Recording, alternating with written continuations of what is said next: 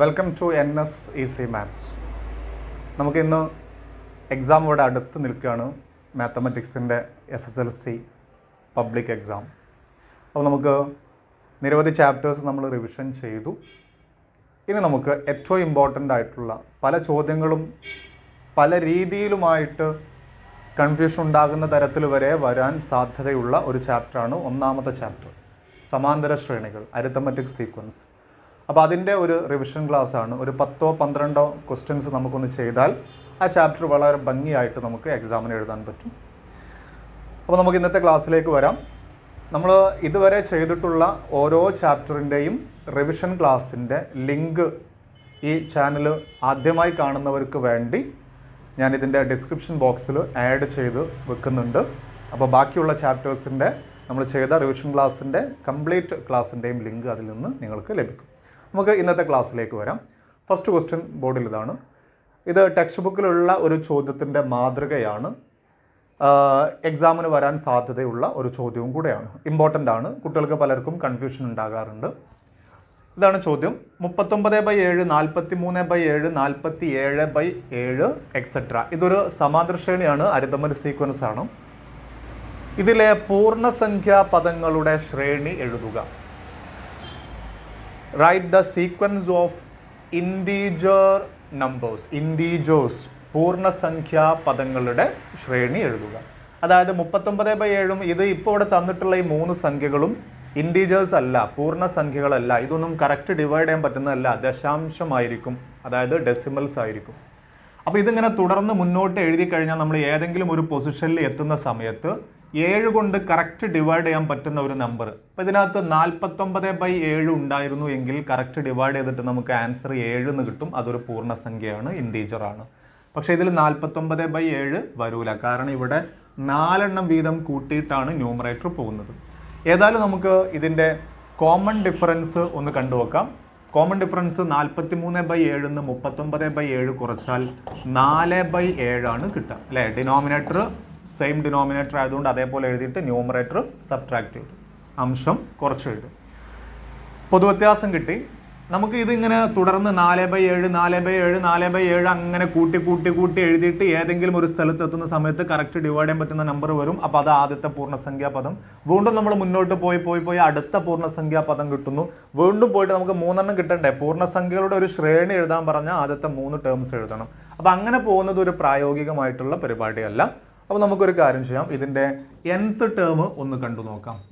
X N is equal to എന്നാം പദം ബീജഗണിതം algebra കാണുന്ന സമയത്ത് D N plus F minus D അല്ലേ പൊതുവ്യത്യാസം എടുത്തിട്ട് ആദ്യം എഴുതി അതിന്റെ കൂടെ ഒരു എൻ ഇട്ടു പ്ലസ് ഇനി നമുക്ക് ഈ മുപ്പത്തൊമ്പത് ബൈ ഏഴിന്ന് ഈ പൊതുവ്യത്യാസം കുറക്കണം. D N plus F minus D ആണ് അല്ലെങ്കിൽ എക്സ് വൺ മൈനസ് ഡി ആണ്. ഒന്നാമത്തെ പദത്തിൽ നിന്ന് നാല് ബൈ ഏഴ് കുറക്കുക. മുപ്പത്തൊമ്പത് ബൈ ഏഴിന്ന് നാല് ബൈ ഏഴ് കുറച്ചാൽ ഒന്ന് നോക്കുക നമുക്ക്. മുപ്പത്തി ഒമ്പത് ബൈ ഏഴിന്ന് നാല് ബൈ ഏഴ് കുറച്ചാൽ നിന്ന് നാല് കുറച്ച് കഴിഞ്ഞാൽ മുപ്പത്തി അഞ്ച് അടിയിൽ ഏഴ്. ഇത് കറക്റ്റ് ഡിവൈഡ് ചെയ്തിട്ട് നമുക്ക് അഞ്ച് എന്ന് കിട്ടും. അപ്പോൾ ഇവിടെ എഴുതാൻ പോകുന്ന സംഖ്യ അഞ്ച്. ഓക്കെ വർക്ക് ഞാൻ ഇവിടെ ചെയ്ത് കാണിച്ചിട്ടുണ്ട്. നാല് ബൈ ഏഴ് എൻ പ്ലസ് അഞ്ച്. ഇതാണ് എൻത്ത് ടേം ഇനി വളരെ സിമ്പിൾ ആയിട്ട് നമുക്ക് ഇതിലെ പൂർണസംഖ്യാ പദങ്ങൾ ഇന്റീജർ ടേംസ് കണ്ടുപിടിക്കാം. അതായത് ഈ ഏഴിന്റെ ഗുണിതങ്ങൾ ഓരോന്നായിട്ട് എന്നിന് പകരം ഇങ്ങനെ നൽകുക. അപ്പോൾ നമുക്ക് എന്നിന് പകരം ആദ്യത്തെ ഏഴിന്റെ മൾട്ടിപ്പിൾ ഏഴാണ്. അപ്പോൾ എൻ ഈക്വൽ ടു ഏഴ് എടുത്താൽ എൻ ഈക്വൽ ടു ഏഴ് എടുക്കുക എന്ന് പറഞ്ഞാൽ എക്സ് സെവൻ കണ്ടുപിടിക്കുക എന്നല്ലേ? നന്നായിട്ട് ശ്രദ്ധിക്കുക. ഈ ക്വസ്റ്റിൽ ഞാൻ പലതും പറയാം. അതായത് ഈ പത്തോ പന്ത്രണ്ടോ ക്വസ്റ്റ്യൻസ് ചെയ്യുമ്പോഴത്തേക്ക് ഈ ചാപ്റ്റർ അങ്ങോട്ട് കംപ്ലീറ്റ് റിവൈൻഡ് ചെയ്യണം. അപ്പോൾ ആ തരത്തിലുള്ള ക്വസ്റ്റ്യൻസ് ആണ് വരിക. ക്വസ്റ്റ്യന്റെ ഓരോ ഭാഗവും ചാപ്റ്ററിന്റെ എക്സ്പ്ലനേഷൻ ആയിരിക്കും. അപ്പോൾ എന്നിന് നമ്മൾ ഏഴ് കൊടുത്തു കഴിഞ്ഞാൽ ഇവിടെ ഏഴ് എന്ന് വരും. അപ്പോൾ ഇതിനെ നമ്മൾ എക്സ് ഏഴ് എന്നാ വായിക്കുക. ഏഴാമത്തെ പദം കണ്ടുപിടിക്കുന്നു എന്നർത്ഥം. എന്തിനാണ് ഏഴ് കൊടുക്കുന്നത് ഇവിടെ കാണിച്ചു തരാം. എന്നിന് പകരം ഏഴ് കൊടുത്തു. പിന്നെ നമുക്കൊരു അഞ്ച് അവിടെ ഉണ്ട്. ഈ ഏഴിനെയും ഏഴിനെയും കട്ട് ചെയ്തിട്ട് നമുക്ക് നാല് പ്ലസ് അഞ്ച് സമം ഒൻപത് എന്നൊരു പൂർണസംഖ്യ കിട്ടി ഒരു ഇന്റീജർ കിട്ടി. അപ്പോൾ ഈ സീക്വൻസിനെ ഇങ്ങനെ നമ്മൾ കണ്ടിന്യൂസ് ആയിട്ട് എഴുതി കഴിഞ്ഞാൽ എത്രാമതാണ് നമുക്ക് കറക്റ്റ് ഒരു പൂർണസംഖ്യ വരിക എന്നറിയോ ഏഴാമത്. ഇത് മൂന്നാമത്തെ സംഖ്യ നാലാമത്തെ അഞ്ചാമത്തെ ആറാമത്തത്. ഏഴാമത്തെ സംഖ്യയായിട്ട് നമുക്ക് ഒൻപത് കിട്ടും. ഒൻപത് കിട്ടുക എന്ന് പറഞ്ഞാൽ ഒരു പക്ഷേ അറുപത്തി മൂന്ന് ബൈ ഏഴായിരിക്കും വരിക അല്ലേ? അറുപത്തി മൂന്ന് ബൈ ഏഴ് ഇതിനകത്ത് എവിടെ ഒന്ന് വരും? എവിടെ വരിക? ഏഴാമതായിട്ടുള്ള പദം. ആ അറുപത്തി മൂന്നിന് ഏഴ് കൊണ്ട് ഹരിച്ചാൽ നമുക്ക് ഒൻപത് കിട്ടും. അതാണ് ഇവിടെ കിട്ടിയ ആദ്യത്തെ പൂർണസംഖ്യാ പദം കിട്ടി ഒൻപത്. ഇനി അടുത്ത ഇന്റീജർ ടേം കിട്ടാൻ ഏഴിന്റെ അടുത്ത ഗുണിതം നമ്മൾ എന്നിന് പകരം കൊടുക്കും. ഏഴിന്റെ അടുത്ത ഗുണിതം പതിനാലല്ലേ? അപ്പോൾ n സമം പതിനാല് കൊടുക്കാൻ പോവാണ്. എന്നിന് പതിനാല് കൊടുക്കുമ്പോൾ ഇത് എക്സ് ഫോർട്ടീൻ എന്ന് വായിക്കും. ഇവിടെ എന്നിന് പകരം പതിനാല് കൊടുത്താൽ. ഇനി നാല് ബൈ ഏഴ് ഇന്റു ഫോർട്ടീൻ പ്ലസ് ഫൈവ് ഇതേപോലെ എഴുതിയിട്ട് ഈ പതിനാലിനെയും ഏഴിനെയും കട്ട് ചെയ്ത് കഴിഞ്ഞാൽ നമുക്ക് ഇവിടെ ടു കിട്ടും. അല്ലേ? രണ്ട് ഇന്റു നാല് എട്ട് പ്ലസ് അഞ്ച്. അടുത്തത് പതിമൂന്ന്. അതായത് അടുത്ത പൂർണസംഖ്യാ പദം പതിനാലാമതായി വരുന്ന പതിമൂന്നാണ് അടുത്ത പൂർണസംഖ്യാ പദം. ഇനി നമുക്ക് ഒന്നും കൂടെ വേണം. ഒന്നും കൂടെ വേണം എന്ന് പറയുമ്പോൾ ഇനി നമ്മൾ കൊടുക്കേണ്ടത് ഏഴിന്റെ ഗുണിതമായ ഇരുപത്തൊന്നാണ് എന്നിന് പകരം കൊടുക്കേണ്ടത്. n സമം ഇരുപത്തൊന്ന് എടുത്താൽ n സമം ഇരുപത്തൊന്ന് എടുക്കുക എന്ന് പറയുമ്പോൾ ഇരുപത്തി ഒന്നാമത്തെ പദം കണ്ടുപിടിക്കാൻ പോവാം. ഇരുപത്തൊന്നാമത്തെ പദം നാല് ബൈ ഏഴ് ഇന്റു ഇരുപത്തി ഒന്ന് പ്ലസ് അഞ്ച്. ഓക്കെ? ഈ ഏഴിനെയും ഇരുപത്തൊന്നിനെയും കട്ട് ചെയ്യാൻ പറ്റും. ഇവിടെ മൂന്ന് കിട്ടും. അപ്പോൾ എന്തിനാണ് ഇവിടെ എന്നിന്റെ ഗുണിതം ഇങ്ങനെ എന്നിന് പകരം കൊടുക്കുന്നത് മനസ്സിലായോ? ആ ഏഴുമായിട്ട് കട്ട് ചെയ്യാൻ പറ്റുന്നത് ഏഴിന്റെ ഗുണിതേ ഉള്ളൂ. അത് കട്ട് ചെയ്ത് പോയിട്ടില്ലെങ്കിൽ പിന്നെ ഇത് ഡിവൈഡ് ചെയ്യാൻ പറ്റൂല. നമുക്ക് പൂർണസംഖ്യ കിട്ടൂല ഇന്റീജർ കിട്ടൂല. അപ്പം മറ്റൊരു ചോദ്യത്തിൽ ഇവിടെ ഈ ഭാഗത്ത് വന്നത് ഒരു അഞ്ചാണെങ്കിൽ നിങ്ങളിവിടെ എന്നിന് പകരം എന്താ കൊടുക്കേണ്ടത്? അഞ്ചിന്റെ ഗുണിതങ്ങൾ ഓരോന്നാണ് കൊടുത്തു നോക്കേണ്ടത്. ഈ ഏഴെന്നെ എല്ലാ സ്ഥലത്തും കൊടുക്കേണ്ട ആവശ്യമില്ല. മറ്റൊരു ചോദ്യത്തിന്റെ കാര്യമാണ് ഞാൻ പറഞ്ഞത്. അപ്പോൾ നമുക്കിവിടെ മൂന്ന് ഇന്റു നാല് പന്ത്രണ്ട് കിട്ടി. പന്ത്രണ്ട് പ്ലസ് അഞ്ച് നമുക്ക് പതിനേഴ് കിട്ടി. അപ്പോൾ അടുത്ത പൂർണസംഖ്യാ പദമായിട്ട് നമുക്ക് കിട്ടിയത് അടുത്ത പൂർണസംഖ്യാ പദമായിട്ട് കിട്ടിയത് പതിനേഴ്. അപ്പോൾ ഇതിലെ പൂർണസംഖ്യാ പദങ്ങളുടെ ശ്രേണി ഇന്റീജർ ടേംസിന്റെ സീക്വൻസ് എഴുതാൻ പറഞ്ഞാൽ നമ്മൾ എഴുതുക ആദ്യം കിട്ടിയ ഒൻപത് പിന്നെ കിട്ടിയ പതിമൂന്ന് പിന്നെ കിട്ടിയ പതിനാല് എക്സെട്രാ അപ്പോൾ ഈ ക്വസ്റ്റിന്റെ ആൻസർ കഴിഞ്ഞു. ഇനി ഇതിൽ വരാവുന്ന ഒരു ചോദ്യം. ഇതുമായി കണ്ടിന്യൂസ് ആയിട്ട് ഇനിയിപ്പോൾ രണ്ടാമത്തെ ഒരു സബ് ക്വസ്റ്റ്യൻ ആയിട്ട് ഇതിൽ വല്ലതും വരികയാണെങ്കിൽ എന്താ ചോദിക്കുക എന്ന് വെച്ചാൽ ഈ പൂർണസംഖ്യകളുടെ പദസ്ഥാനങ്ങളുടെ ശ്രേണി എഴുതാനാണ്. ദർ പൊസിഷൻസ് ഈ പൂർണസംഖ്യകളായ ഒൻപതും പതിമൂന്നും പിന്നെന്താ? പതിനേഴ് നമുക്ക് കിട്ടിയ പൊസിഷൻ ഇല്ലേ? ആ പൊസിഷൻ നോക്കിക്കഴിഞ്ഞാൽ ഇതിപ്പോൾ ഒരു സമാന്തര ശ്രേണിയാണല്ലേ? പൂർണസംഖ്യാ പദങ്ങൾ ഒരു സമാന്തര ശ്രേണിയിലാണ്. ഒൻപത് നാല് കൂട്ടിയാൽ പതിമൂന്ന് നാല് കൂട്ടിയാൽ പതിനേഴ്. ഇനി ഇവരുടെ പൊസിഷൻ ഒന്ന് എടുത്തു നോക്കുക നമ്മൾ ഏതാ പൊസിഷൻ എന്ന് പറഞ്ഞത്? ഒന്ന് ഏഴാമത്തെ പദമാണ് നമുക്ക് കിട്ടിയത് അല്ലേ പിന്നെ നമുക്ക് കിട്ടിയത് പതിനാലാമത്തെ പദമാണ്. പിന്നെ നമുക്ക് കിട്ടിയത് ഇരുപത്തൊന്നാമത്തെ പദമാണ്. ഈ പൊസിഷൻസ് എടുത്താൽ അതായത് ഈ പൂർണസംഖ്യാ പദങ്ങളുടെ സ്ഥാനം എടുത്താലും അതൊരു സമാന്തര ശ്രേണിയാണ് അരിതമന്റെ സീക്വൻസ് ആണ്. അതൊക്കെ ചിലപ്പോൾ എഴുത- ചോദിച്ചേക്കാം. ഓക്കെ മനസ്സിലായിട്ടുണ്ടാവും വിചാരിക്കുന്നു. അടുത്ത ക്വസ്റ്റ്യനും രണ്ടാമത്തെ ക്വസ്റ്റ്യനും ടെക്സ്റ്റ് ബുക്കിലുള്ള ടെക്സ്റ്റ് ബുക്കിൽ ഇതേപോലത്തെ രണ്ട് ചോദ്യങ്ങൾ എങ്ങാനും കൊടുത്തിട്ടുണ്ട്. അപ്പോൾ ടെക്സ്റ്റ് ബുക്കിലുള്ള ചോദ്യങ്ങൾക്ക് പ്രാധാന്യം കൂടുതലാണ്. അപ്പോൾ ഇതിനകത്തൊന്ന് നോക്കാം നമുക്ക്. ഒരു സമാന്തര ശ്രേണിയെ ഒരു അരിതമരി സീക്വൻസിനെ ഇങ്ങനെ ഒരു പ്രത്യേക പാറ്റേൺ ആയിട്ട് തന്നതാണ്. അപ്പോൾ ചോദ്യത്തിൽ ചിലപ്പം ആ രീതിയിൽ ചോദിച്ചേക്കാം ആ രീതിയിൽ പറഞ്ഞേക്കാം. ഇതിലിപ്പോൾ സമാന്തര ശ്രേണി ഇതാണ്. പത്ത് പതിമൂന്ന് പതിനാറ് പത്തൊൻപത് എക്സെട്ര ഈ ഒരു സമാന്തര ശ്രേണിയിലെ ഈ ഒരു അരിതമരി സീക്വൻസിലെ സംഖ്യകൾ ഇങ്ങനെ ഓരോ റോസ് ആയിട്ട് ഓരോ ലൈനുകളായിട്ട് വരികളായിട്ട് എഴുതിയിരിക്കുന്നു. ഒരു പ്രത്യേക രീതിയിൽ പാറ്റേൺ ആയിട്ട് ക്രമീകരിച്ചിട്ടുണ്ട്. ചോദ്യം ഇതാണ്. ഇതിങ്ങനെ തുടർന്ന് പോകുന്ന സമയത്ത് പത്താമത്തെ വരിയിലെ അവസാനത്തെ സംഖ്യ ഏതായിരിക്കും? ഇത് ഒന്നാമത്തെ വരി ഇത് രണ്ട് ഇത് മൂന്ന് ഇത് നാല് ഇനി ഇങ്ങനെ തുടർന്ന് എഴുതി കഴിഞ്ഞാൽ പത്താമത്തെ വരിയിലെ അവസാനത്തെ സംഖ്യ ഏത്? ഞാൻ ജസ്റ്റ് ഒരു ക്വസ്റ്റ്യൻ എഴുതിയിട്ടുള്ളൂ ഇതിലെ പ്രധാനപ്പെട്ട ക്വസ്റ്റ്യൻ ഇതിൽ എന്തൊക്കെ ചോദിക്കാൻ ചോദിച്ചാൽ ഇതിലെ തൊട്ടടുത്ത രണ്ട് വരികൾ കൂടി എഴുതുക. അങ്ങനെ ഒരു ചോദ്യം വന്നേക്കാം. തൊട്ടടുത്ത രണ്ട് വരികൾ കൂടി എഴുതാൻ പറയുമ്പോൾ ഇവിടെ നമ്മൾ നാല് സംഖ്യകൾ എഴുതിയില്ലേ? ഇനി അടുത്ത വരിയിൽ നമ്മൾ അഞ്ച് സംഖ്യകൾ എഴുതണം. ഇവിടെയൊക്കെ പൊതുവ്യത്യാസം മൂന്നാണ് കേട്ടോ മൂന്ന് ഇങ്ങനെ കൂട്ടിയിട്ട് ഇങ്ങനെ എഴുതാ വേണ്ടത്. അപ്പോൾ അടുത്തത് ഇവിടെ നാൽപ്പത് വരും നാൽപ്പത്തി മൂന്ന് വരും. അങ്ങനെ അഞ്ച് സംഖ്യകൾ ഇവിടെ എഴുതണം. അടുത്ത വരിയിൽ നമ്മൾ ആറ് സംഖ്യകൾ എഴുതണം. അങ്ങനെ എഴുതി കഴിഞ്ഞാൽ അടുത്ത രണ്ട് വരികൾ എഴുതാനുള്ള ക്വസ്റ്റിന്റെ ആൻസറായി എന്നിട്ട് ചോദിക്കുന്നു പത്താമത്തെ വരിയിലെ അവസാനത്തെ സംഖ്യ ഏത്? പിന്നെ ചോദിക്കും പത്താമത്തെ വരിയിലെ ആദ്യത്തെ സംഖ്യ ഏത്? പിന്നെ ചോദിക്കുക ഈ പത്താമത്തെ വരിയിലെ സംഖ്യകളുടെ തുക കണ്ടുപിടിക്കുക. സമ്മ് എത്രയാണ്? ഇത്രയും ചോദ്യങ്ങൾ നമ്മൾ ഇതിൽ നിന്ന് പ്രതീക്ഷിക്കാം. ഇങ്ങനെ ഒരു പാറ്റേൺ എഴുതിയതിന് ശേഷം. അപ്പോൾ നമുക്ക് പത്താമത്തെ വരിയിലെ അവസാനത്തെ സംഖ്യ കണ്ടുപിടിക്കാൻ പറഞ്ഞാൽ ഇതിലെ ഓരോ വരിയിലെയും സംഖ്യകളുടെ പ്രത്യേകത നമ്മൾ എഴുതും. ഓരോ വരിയിലെയും ഓരോ വരിയിലെയും എണ്ണം number of terms in each line each row ഓരോ വരിയിലെയും സംഖ്യകളുടെ എണ്ണം ഇവിടെ ഒന്ന് ഇവിടെ രണ്ട് ഇവിടെ മൂന്ന് ഇവിടെ നാല്. അത് ഒരു എണ്ണൽ സംഖ്യകളുടെ ഒരു നാച്ചുറൽ നമ്പേഴ്സിന്റെ സീക്വൻസ് ആണ്. അത് നമ്മൾ ഇതിനകത്തുനിന്ന് എടുത്തെഴുതുക ആദ്യം. നാച്ചുറൽ നമ്പേഴ്സിന്റെ സീക്വൻസ് കിട്ടി. അങ്ങനെ ആകുന്ന സമയത്ത് പത്താമത്തെ വരിയിൽ പത്ത് സംഖ്യകളാണ് നമുക്ക് ഉണ്ടാവുക പത്താമത്തെ വരിയിൽ പത്ത് സംഖ്യകളുണ്ട്. അപ്പോൾ ഇങ്ങനെ നമുക്ക് പത്ത് വരെ ഈ ചോദ്യത്തിൽ നമുക്ക് പോകേണ്ടതുണ്ട് എന്നർത്ഥം. ഈ രീതിയിൽ നമുക്ക് പത്ത് വരെ ഈ ചോദ്യത്തിൽ പോകണം. എവിടെ നിന്ന് ഈ പത്ത് കിട്ടിയ നമ്മൾ ചോദിച്ചത് പത്താമത്തെ വരി ആയതുകൊണ്ട് പതിനഞ്ചാമത്തെ വരിയെക്കുറിച്ച് ക്വസ്റ്റ്യൻ വന്നു കഴിഞ്ഞാൽ നമുക്ക് ഇങ്ങനെ പതിനഞ്ചെണ്ണം അതായത് ലാസ്റ്റ് പതിനഞ്ച് വരും എന്നർത്ഥം. ഇനി ചോദ്യം പത്താമത്തെ വരിയിലെ അവസാനത്തെ സംഖ്യ അല്ലെ? പത്താമത്തെ വരിയിലെ അവസാനത്തെ സംഖ്യ എന്ന് പറയുന്നത് ഈ സമാന്തര ശ്രേണിയിലെ എത്രാമത്തെ പദമായിരിക്കും എന്നൊന്ന് നമുക്ക് നോക്കാം. ഇതിലെ എത്രാമത്തെ സംഖ്യ സംഖ്യയായിരിക്കും പത്താമത്തെ വരിയിലെ അവസാനത്തിൽ വരിക. എത്രാമത്തെ സംഖ്യ ആയിരിക്കും അതിനു വേണ്ടി നിങ്ങൾ ഇതിലെ തുക കണ്ടുപിടിക്കുക. ഈ പത്തെണ്ണത്തിന്റെ തുക കണ്ടുപിടിക്കുക. തുക എന്ന് പറയുമ്പം സമ്മ് കണ്ടുപിടിക്കുക. ഇത് നാച്ചുറൽ നമ്പേഴ്സ് ആണ്. തുക കണ്ടുപിടിക്കാൻ പത്ത് ഇന്റു പതിനൊന്ന് ബൈ രണ്ട് എന്ന് ചെയ്താൽ മതി. ആൻസർ നിങ്ങൾക്ക് അൻപത്തഞ്ച് എന്ന് കിട്ടും. ഇത് ചെയ്തിട്ടുണ്ടെങ്കിൽ. ഈ അൻപത്തഞ്ച് എന്താണെന്നറിയോ? ഇതിലെ പത്താമത്തെ വരിയിലെ അവസാനത്തെ സംഖ്യ അല്ല അവസാനത്തെ സംഖ്യയുടെ സ്ഥാനമാണ്. അതായത് പത്താം വരിയിലെ അവസാനത്തെ സംഖ്യ എന്ന് പറയുന്നത് അൻപത്തി അഞ്ചാം പദമാണ്. അൻപത്തി അഞ്ചാം പദം. അതായത് എക്സ് ഫിഫ്റ്റി ഫൈവ് ആണ് ഇതിലെ പത്താമത്തെ വരിയിലെ അവസാനത്തിൽ വരിക.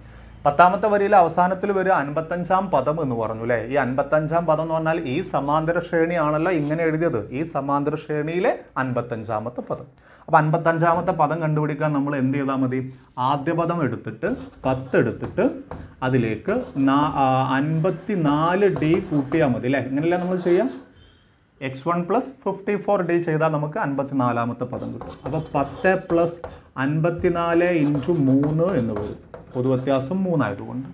അതിന്റെ ആൻസർ വരിക പത്ത് പ്ലസ് അൻപത്തിനാലും മൂന്നും തമ്മിൽ മൾട്ടിപ്ലൈ ചെയ്യുന്നുണ്ടെങ്കിൽ പന്ത്രണ്ടും നൂറ്റി അൻപതും നൂറ്റി അറുപത്തി രണ്ട്.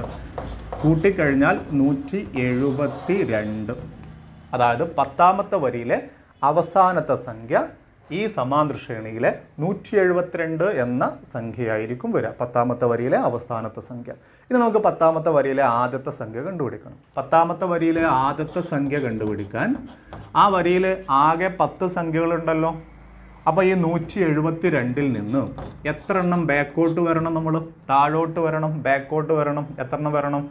ആ വരിയിൽ മൊത്തം ഈ പത്താമത്തെ വരിയിൽ ആകെ പത്ത് സംഖ്യകളുണ്ട്. അതിൽ അവസാനത്തെ സംഖ്യ നൂറ്റി എഴുപത്തിരണ്ടാണെങ്കിൽ ബാക്കോട്ട് ഒമ്പതെണ്ണം ബാക്കോട്ട് വരണം അല്ലേ? ഒൻപത് ഡി കുറച്ചാൽ നമുക്ക് അതിലെ ആദ്യത്തെ പദം കിട്ടും. നൂറ്റി എഴുപത്തി നിന്ന് ഒൻപത് ഇന്റു മൂന്ന് അല്ലേ? നൂറ്റി എഴുപത്തി രണ്ടിൽ നിന്ന് ഇരുപത്തി ഏഴ് നമുക്ക് കുറക്കണം. അങ്ങനെ കുറച്ച് കഴിഞ്ഞാൽ നമുക്ക് പന്ത്രണ്ടിന് ഏഴ് കുറച്ചാൽ അഞ്ച് ആറിന്ന് രണ്ട് കുറച്ചാൽ നാല് നൂറ്റി നാൽപ്പത്തി അഞ്ച് എന്ന് കിട്ടും. അപ്പോൾ പത്താമത്തെ വരിയിലെ tenth റോയിലെ first number one forty five last number one seventy two. ഇനി അതിലെ സമ്മ് ചോദിച്ചാൽ എന്താ ചെയ്യുക ആ പത്താമത്തെ വരിയിലെ സംഖ്യയുടെ തുക ചോദിച്ചു കഴിഞ്ഞാൽ സമ്മ് ചോദിച്ചാൽ sum of ten terms is equal to sum of ten terms is equal to അല്ലേ ആ വരിയിൽ പത്ത് സംഖ്യകളാണ് ഉള്ളത്. അതെപ്പോഴും ഓർത്ത് വെക്കണം. പത്ത് ബൈ രണ്ട് ഇന്റു അതിലെ ആദ്യത്തെ സംഖ്യ നൂറ്റി നാൽപ്പത്തി അഞ്ച് പ്ലസ് അതിലെ അവസാനത്തെ സംഖ്യ നൂറ്റി എഴുപത്തി രണ്ട് ഇതൊന്ന് വർക്കൗട്ട് ചെയ്ത് നോക്കിയാൽ മതി. ഇതിപ്പോൾ ഞാൻ ചെയ്യുന്നില്ല. പത്ത് ബൈ രണ്ട് കാരണം അഞ്ച് കിട്ടും. ഇത് രണ്ടും കൂട്ടിക്കഴിഞ്ഞ ഒരു സംഖ്യ കിട്ടും. അത് തമ്മിൽ ഗുണിച്ചാൽ ആ പത്താമത്തെ വരിയിലെ സംഖ്യകളുടെ സമ്മും കിട്ടും. തുകയും കിട്ടും. ചോദ്യം അടുത്തത് നെക്സ്റ്റ് ക്വസ്റ്റ്യൻ ഇതാണ്. ഒരു സമാന്തര ശ്രേണിയിലെ ഒരു സമാന്തര ശ്രേണിയിലെ എട്ടാം പദം മുപ്പത്തൊന്നാണ്. എട്ടാം പദം മുപ്പത്തൊന്നാണ്. ഇതിലെ പതിനൊന്നാം പദത്തിനേക്കാൾ പതിനാറ് കൂടുതലാണ് പതിനഞ്ചാം പദം. Fifteenth term is six more than eleventh term ശ്രേണി എഴുതുക. റൈറ്റ് ദ സീക്വൻസ് അതായത് ഫസ്റ്റ് ത്രീ ടേംസ് കണ്ടുപിടിക്കുക എന്ന്. നന്നായിട്ട് ശ്രദ്ധിച്ച് ചെയ്യണം നമുക്ക്. ഇവിടെ പതിനൊന്നാം പദത്തിലേക്ക് പതിനാറ് കൂട്ടിയാൽ പതിനഞ്ചാം പദം കിട്ടുമെന്ന് ഇതൊരു എട്ടാം പദം നമുക്ക് തന്നിട്ടുണ്ട്. നമുക്കൊരു കാര്യം ചെയ്യാം. ഇതിലെ പതിനൊന്നാം പദം നമുക്ക് എങ്ങനെ കണ്ടുപിടിക്കാം? പതിനൊന്നാമത്തെ പദം എന്ന് പറയുന്നത് ഇവിടെ എട്ടാമത്തെ പദം തന്നിട്ടുണ്ടല്ലോ. അതിലേക്ക് എത്ര ഡി കൂട്ടണം നമുക്ക് പതിനൊന്നാമത്തെ പദം കണ്ടുപിടിക്കാൻ? എട്ടെന്ന് പതിനൊന്നിലേക്ക് എത്താൻ വേണ്ടിയിട്ട് മൂന്ന് അല്ലേ അപ്പോൾ ത്രീ ഡി കൂട്ടിയിട്ട് എഴുതും. ഇത് കൂട്ടിയിട്ടുണ്ടെങ്കിൽ നമുക്ക് ആൻസർ കിട്ടുക. എട്ടാമത്തെ പദം മുപ്പത്തി ഒന്ന് മൂന്ന് ഡി. ഡി നമുക്ക് എത്രയെന്ന് അറിയില്ല കേട്ടോ. അപ്പോൾ നമുക്ക് ഇങ്ങനെ എഴുതാനേ കഴിയുള്ളൂ. ഇതാണ് ഇതിലെ പതിനൊന്നാമത്തെ പദം.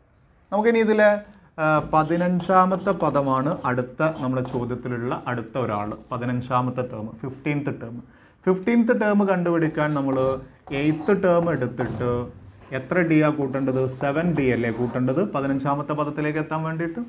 അങ്ങനെ ചെയ്യുന്ന സമയത്ത് മുപ്പത്തി ഒന്ന് പ്ലസ് ഏഴ് ഡി എന്ന് കിട്ടും പതിനഞ്ചാമത്തെ പദം.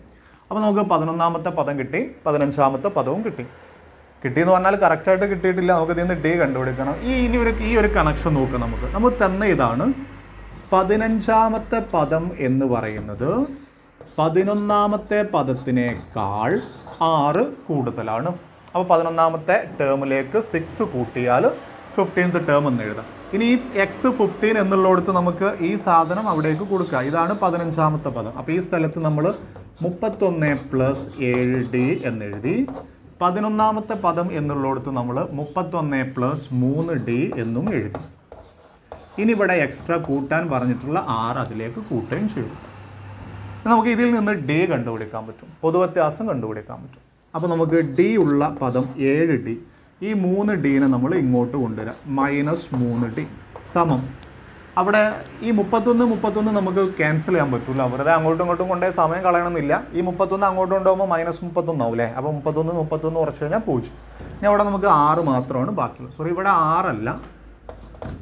സോറി ഇവിടെ പതിനാറാണ് കൂട്ടാൻ പറഞ്ഞത് അല്ലേ സോറി പതിനാറ്. അപ്പം ഇനി അവിടെ നമുക്കൊരു പതിനാറാണ് ബാക്കിയുള്ളത്. ഏഴ് ഡി നിന്ന് മൂന്ന് ഡി കുറച്ച് കഴിഞ്ഞാൽ നാല് ഡി നാല് ഡി സമം പതിനാറ് എടുത്താൽ ഡി സമം പതിനാറ് ബൈ നാല് പതിനാറ് ബൈ നാല് സമം ഫോർ പൊതുവ്യത്യാസം കിട്ടി. പൊതുവ്യത്യാസം കിട്ടിക്കഴിഞ്ഞാൽ പിന്നെ നമുക്കിതിൽ ആദ്യത്തെ മൂന്ന് പദങ്ങളല്ലേ കാണാൻ പറഞ്ഞത്? ഫസ്റ്റത്തെ ടേം കാണാൻ വേണ്ടിയിട്ട് എന്ത് ചെയ്താൽ മതി?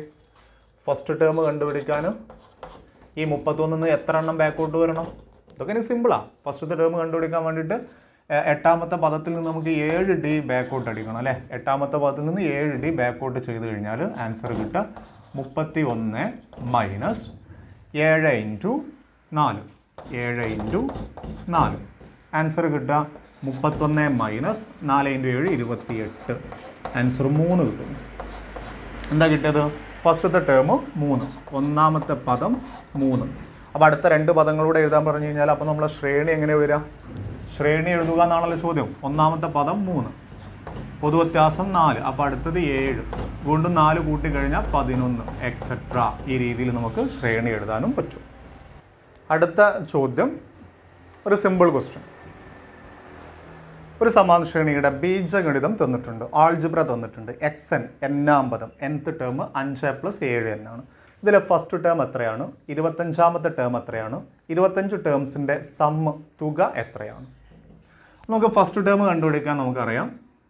ഫസ്റ്റ് ടേം കണ്ടുപിടിക്കാൻ ഈ എന്നിന് ഒന്ന് കൊടുത്താൽ മതി.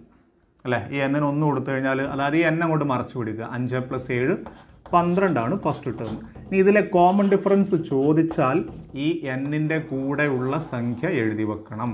ഏഴാണ് പൊതുവ്യത്യാസം വരിക. അതിന്റെ ആവശ്യം ഇവിടെ ഇല്ല. ഇനി ഇരുപത്തഞ്ചാമത്തെ ടേം ഇരുപത്തി അഞ്ചാമത്തെ ടേം കണ്ടുപിടിക്കാൻ ഈ ആദ്യ പദവും പൊതു വ്യത്യാസവും വെച്ചിട്ട് ഇരുപത്തഞ്ചാമത്തെ ടേം കണ്ടുപിടിക്കാം. പക്ഷെ ഇതിനകത്ത് ഈ എൻ എൻ ഇരുപത്തഞ്ച് കൊടുത്താൽ മതി. അപ്പോൾ അഞ്ച് പ്ലസ് ഏഴ് ഇന്റു ട്വന്റി ഫൈവ് അഞ്ചും ഏഴും കൂട്ടരുത്. അഞ്ച് plus seven into twenty five കിട്ടുക. വൺ സെവൻ ഫൈവ് കൂട്ടിക്കഴിഞ്ഞാൽ ആൻസർ കിട്ടുക. വൺ എയ്റ്റ് സീറോ അപ്പോൾ നമുക്ക് ഇരുപത്തി അഞ്ചാമത്തെ പദം കണ്ടുപിടിച്ചു. ഇരുപത്തഞ്ചാമത്തെ പദം കണ്ടുപിടിക്കാൻ എക്സ് വൺ പ്ലസ് ഇരുപത്തിനാല് ഡി എന്ന് വെച്ചിട്ടും ചെയ്യാം. ഇനി നമുക്ക് sum of twenty five terms ഇരുപത്തിയഞ്ച് പദങ്ങളുടെ തുക. തുക കാണാനുള്ള ഫോർമുല ഒന്ന് പറഞ്ഞു നോക്കിയേ. ഇരുപത്തിയഞ്ച്. എന്നൊക്കെ നമുക്ക് ഒഴിവാക്കാം. അപ്പോൾ തൽക്കാലം നേരിട്ട് നമ്മളെ ഫോർമുലയിലേക്ക് കണ്ടു പോവാം. ഇരുപത്തഞ്ച് ബൈ രണ്ട് ഇന്റു ആദ്യ പദം പ്ലസ് ഇരുപത്തി അഞ്ചാമത്തെ പദം.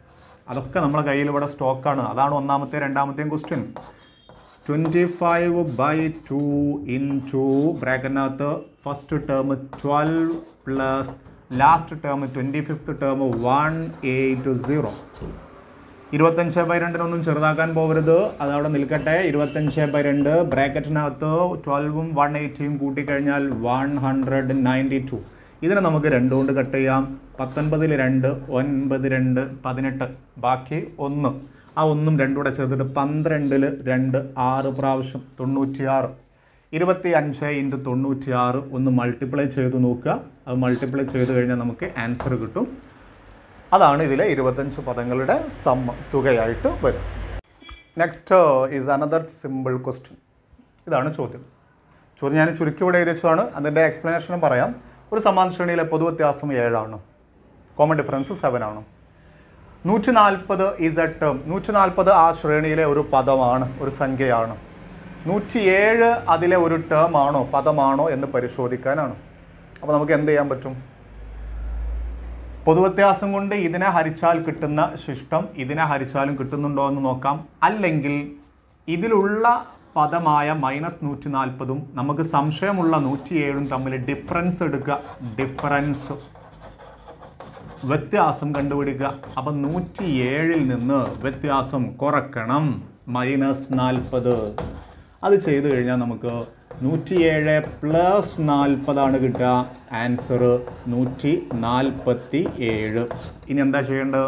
നൂറ്റി നാൽപ്പത്തേഴ് ഇതിലെ പൊതുവ്യത്യാസത്തിന്റെ ഗുണിതമാണോ? മൾട്ടിപ്പിൾ ആണോ നൂറ്റി നാൽപ്പത്തേഴ് ഇതിലെ ഡിയുടെ മൾട്ടിപ്പിൾ ആണോ നൂറ്റി നാൽപ്പത്തേഴിനെ കറക്റ്റ് ഏഴുകൊണ്ട് ഹരിക്കാൻ പറ്റുമോ എന്നാണ് ചോദ്യം. ഹരിക്കാൻ പറ്റുമല്ലോ? നൂറ്റി നാൽപ്പത്തേഴിനെ ഏഴ് കൊണ്ട് ഹരിച്ചാൽ കറക്റ്റ് ഇവിടെ രണ്ട് രണ്ട് ഏഴ് പതിനാല് ബാക്കി പൂജ്യം. ഏഴ് ഇറക്കിയിട്ടാൽ ഏഴിൽ ഒന്ന് ഒരു ഏഴ് ഏഴ് ബാക്കി പൂജ്യം. നൂറ്റി നാൽപ്പത്തി ഏഴ് ഈസ് എ മൾട്ടിപ്പിൾ മൾട്ടിപ്പിൾ എന്ന് പറഞ്ഞാൽ ഗുണിതം. മൾട്ടിപ്പിൾ ഓഫ് സെവൻ സെവൻ എന്ന് പറഞ്ഞാൽ പൊതുവ്യത്യാസം. അപ്പോൾ ഒരു സമാന ശ്രേണിയിലെ രണ്ട് പദങ്ങൾ തമ്മിൽ കുറച്ചിട്ടുണ്ടെങ്കിൽ അതിലെ പൊതുവ്യത്യാസത്തിന്റെ കോമൺ ഡിഫറൻസിന്റെ മൾട്ടിപ്പിൾ കിട്ടും എന്നാണ് ഇതിന്റെ പ്രിൻസിപ്പിൾ തത്വം ഇതാണ്. അത് ഇവിടെ നമ്മൾ പരിശോധിച്ചു. അങ്ങനെ കിട്ടിയതുകൊണ്ട് ഈ നൂറ്റി ഏഴും ഇതിലെ ഒരു പദമാണ് എന്ന് കിട്ടും. അടുത്ത ക്വസ്റ്റ്യൻ നോക്കൂ. ഇതാണ് ചോദ്യം. എസ് എൻ അതായത് ഒരു സമാന്തര ശ്രേണിയുടെ എൻ പദങ്ങളുടെ തുക സം ഓഫ് എൻ ടേംസ് ഇതിനെ നമ്മൾ ഓൾജിബ്ര ഓഫ് ദി സമ്മ് എന്നും പറയും. അതായത് തുകയുടെ ബീജ ഗണിതം രണ്ട് എൻ സ്ക്വയർ പ്ലസ് മൂന്ന് എന്നാണ് ചോദ്യം നമ്പർ ഒന്ന് കോമൺ ഡിഫറൻസും ഫസ്റ്റ് ടേമും കണ്ടുപിടിക്കുക. ചോദ്യം നമ്പർ രണ്ട് ഇതിലെ ഫിഫ്റ്റീൻ ടേംസിന്റെ സമ്മ് കണ്ടുപിടിക്കുക. സം ഓഫ് ഫിഫ്റ്റീൻ ടേംസ് ഇരുപത്തി പതിനഞ്ച് പദങ്ങളുടെ തുക. നമ്മൾ എസ് എൻ എന്ന് പറയുമ്പോൾ നമ്മുടെ മനസ്സിലേക്ക് എപ്പോഴും വരേണ്ടത് A N square plus B N എന്ന രൂപത്തിലായിരിക്കും ഇതുണ്ടാകുക അങ്ങനെ ആകുമ്പോൾ ഡി കണ്ടുപിടിക്കാൻ എയുടെ ഡബിൾ എടുത്താൽ മതി ടു എ എടുത്താൽ മതി. ഈ ക്വസ്റ്റ്യനിൽ എ എത്രയാണ് നോക്കി പറയാം. എൻ സ്ക്വയറിന്റെ കൂടെയുള്ള നമ്പർ രണ്ട്. ബി എത്രയാണെന്ന് ചോദിച്ചാൽ എന്നിന്റെ കൂടെയുള്ള നമ്പർ മൂന്ന്. ഞാൻ ഇതും കൂട്ടി വരക്കാനുള്ള കാരണം എന്താണെന്ന് വെച്ചാൽ ഇവിടെ പ്ലസ് മൂന്നാണ് ഒരു പക്ഷേ ഈ ചോദ്യത്തിൽ ഇവിടെ എങ്ങാനും മൈനസ് ആണെങ്കിൽ മൈനസ് മൂന്ന് എടുക്കണം. ചില കുട്ടികൾ അത് എടുക്കാറില്ല. അതുകൊണ്ടാണ് ഇത് കൂട്ടി ഞാൻ വരച്ചു വെച്ചത്. മൂന്ന്. അങ്ങനെ ആകുമ്പോൾ പൊതുവ്യത്യാസം ഇതിന്റെ ഇരട്ടി. എം സ്ക്വയറിന്റെ കൂടെ ഉള്ളതിന്റെ ഡബിൾ ടു ഇന്റു എ രണ്ട് ഇന്റു രണ്ട് നാലാണ് പൊതുവ്യത്യാസം ഫസ്റ്റ് ടേം കണ്ടുപിടിക്കാൻ ജസ്റ്റ് ആ എയും ബിയും കൂട്ടിയാൽ മതി. ഈ രണ്ടും മൂന്നും കൂട്ടിയാൽ മതി. രണ്ട് പ്ലസ് മൂന്ന് നമുക്ക് അഞ്ച് കിട്ടും. ഒന്നാമത്തെ ചോദ്യത്തിന്റെ ആൻസർ കിട്ടി. Common difference four first term അഞ്ച്. ഇനി നമുക്കിതിൽ കിട്ടേണ്ടത് ഫിഫ്റ്റീൻ ടേംസിന്റെ സമ്മ് ഒരിക്കലും നിങ്ങൾ ഇനി fifteen by two into first term plus last term എന്നുള്ള ഭാഗത്തേക്ക് പോവുക ചെയ്യേണ്ട. ചോദ്യം ശരിക്കും നോക്കിയിട്ട് ആൻസർ എഴുതണം. ഇത് എൻ പദങ്ങളുടെ തുക. ഈ എന്ന് മാറ്റിയിട്ട് ഒന്ന് പതിനഞ്ചാക്കി നോക്കൂ. ഈ എന്ന് മാറ്റിയിട്ട് പതിനഞ്ചാക്കി കഴിഞ്ഞാൽ നമ്മൾ ക്വസ്റ്റിന്റെ ആൻസർ അവിടേക്കാണ് പോകുന്നത്. അപ്പോൾ നമുക്ക് ഇതിലെയും ഒക്കെ മാറ്റിയിട്ട് പതിനഞ്ചാക്കിയാൽ മതി. രണ്ട് ഇന്റു പതിനഞ്ച് സ്ക്വയർ പ്ലസ് മൂന്ന് ഇന്റു പതിനഞ്ച്. ആൻസർ രണ്ട് ഇന്റു ഇരുന്നൂറ്റി ഇരുപത്തി അഞ്ച് പതിനഞ്ചിന്റെ സ്ക്വയർ. മൂന്ന് ഇന്റു പതിനഞ്ച് വേണേൽ ഗുണിക്കുക അല്ലെങ്കിൽ രണ്ടും കൂടെ നമുക്ക് അടുത്ത സ്റ്റെപ്പിൽ ഗുണിക്കുക രണ്ട് ഇന്റു ഇരുന്നൂറ്റി ഇരുപത്തി അഞ്ച് നാനൂറ്റി അൻപത് ഫോർ ഫൈവ് സീറോ. മൂന്ന് ഇന്റു പതിനഞ്ച് നാൽപ്പത്തി അഞ്ച്. ഇത് കൂട്ടിക്കഴിഞ്ഞാൽ നമുക്ക് കിട്ടുക നാനൂറ്റി അൻപത് നാൽപ്പത്തഞ്ചും കൂട്ടിക്കഴിഞ്ഞാൽ നാനൂറ്റി തൊണ്ണൂറ്റി അഞ്ച്. ഇതാണ് ഇതിലെ പതിനഞ്ച് പദങ്ങളുടെ തുകയായിട്ട് വരിക. സമ്മ അപ്പോൾ നമുക്ക് അടുത്ത ചോദ്യത്തിലേക്ക് വരാം. രണ്ട് ചോദ്യം ഉണ്ട് സബ് ക്വസ്റ്റ്യൻ ആയിട്ട് ഒരു സീക്വൻസ് തന്നിട്ടുണ്ട് ഏഴ് ഒൻപത് പതിനൊന്ന്. ചോദ്യം ഒന്നാമത്തേതാണ് difference between sum of first fifteen terms and the next fifteen terms ഇതിലെ ആദ്യത്തെ പതിനഞ്ച് പദങ്ങളുടെ തുകയും അതിനുശേഷമുള്ള പതിനഞ്ച് പദങ്ങളുടെ തുകയും തമ്മിലുള്ള വ്യത്യാസം എത്ര? ഡിഫറൻസ് എത്ര? അടുത്ത ചോദ്യം നമുക്ക് ഇതിന് ശേഷം നോക്കാം. അപ്പോൾ ഇതിൽ ആദ്യത്തെ പതിനഞ്ച് പദങ്ങളുടെ തുക കണ്ടുപിടിക്കും. അല്ലേ? അടുത്ത പതിനഞ്ച് പദങ്ങളുടെ തുക കാണണമെങ്കിൽ ഒരു പക്ഷേ ഇങ്ങനെ ചെയ്യണം. ആദ്യത്തെ മുപ്പത് പദങ്ങളുടെ തുക കണ്ടിട്ട് അതിൽ നിന്ന് ആദ്യത്തെ പതിനഞ്ച് പദങ്ങളുടെ തുക കുറക്കണം. പറഞ്ഞ മനസ്സിലായോ? ആദ്യത്തെ പതിനഞ്ച് പദങ്ങളുടെ തുക some of fifteen ടേംസിന്റെ sum formula നമുക്കുണ്ട് fifteen by two into first term plus last term അത് കഴിഞ്ഞിട്ട് അടുത്ത പതിനഞ്ച് പദങ്ങളുടെ തുക കണ്ടുപിടിക്കണമെങ്കിൽ മൊത്തത്തിൽ മുപ്പത് പദങ്ങളുടെ തുക കണ്ടിട്ട് ആദ്യത്തെ പതിനഞ്ച് പദങ്ങളുടെ സമ്മ് കുറച്ചിട്ട് അത് കണ്ടുപിടിക്കണം. എന്നിട്ട് അവ തമ്മിലുള്ള ഡിഫറൻസ് എടുക്കണം. ഇതൊക്കെ വളഞ്ഞ വഴിയാണ്. ഇതിനൊരു ഡയറക്റ്റ് മെത്തേഡ് ഉണ്ട്. നമുക്ക് നോക്കാം.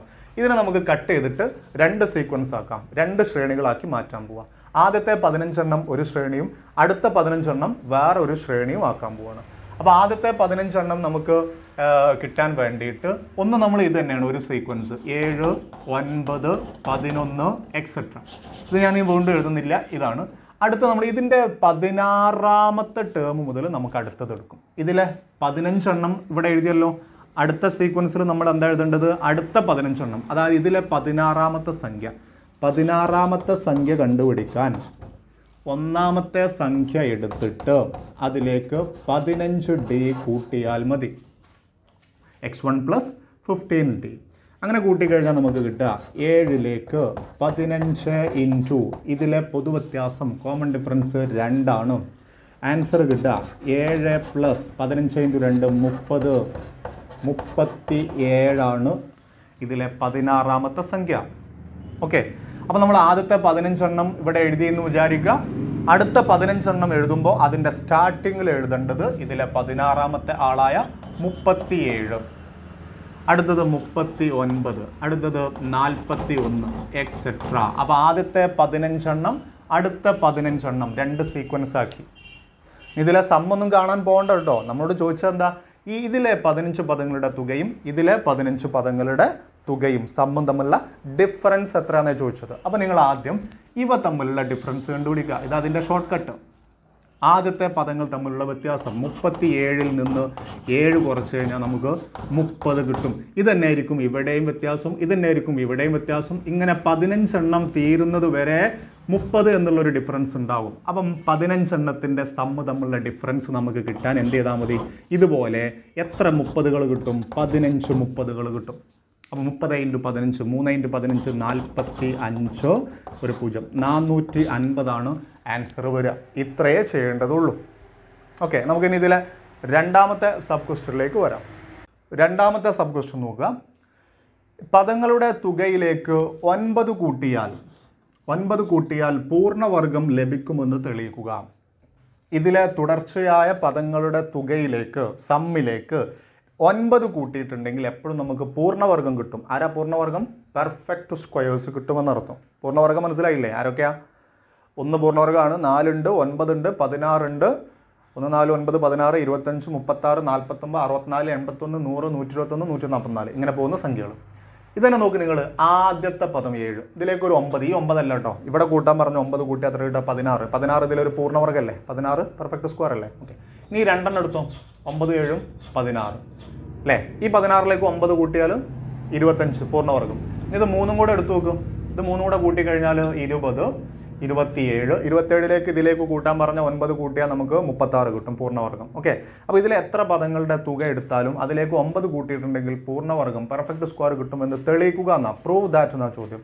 അപ്പോൾ നമ്മളിങ്ങനെ ഓരോന്നെടുത്ത് കൂട്ടലല്ല. നമ്മൾ എന്ത് ചെയ്യണം ഇതിലേക്ക്? ഇതിലെ കുറച്ച് പദങ്ങളുടെ തുക നമുക്ക് അങ്ങോട്ട് എടുക്കാം. എത്ര പദങ്ങളുടെ തുക എടുക്കുക അറിയോ?